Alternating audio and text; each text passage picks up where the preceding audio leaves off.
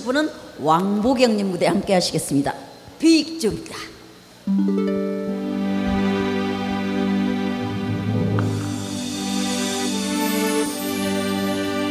안녕하세요. 왕보경입니다.